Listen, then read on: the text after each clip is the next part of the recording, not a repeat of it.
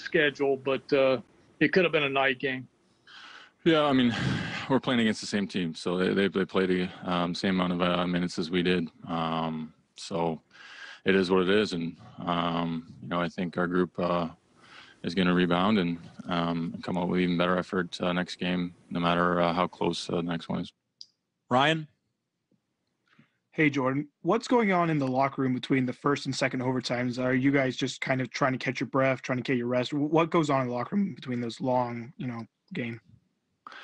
Uh, I mean, I was getting stitches, uh, so um, I was out of it for a little bit there. But um, yeah, um, getting some calories in you, getting some fluids, and um, just talking about uh, what we want to do out there and how we want to play. And um, I thought the boys, like I said, battled hard.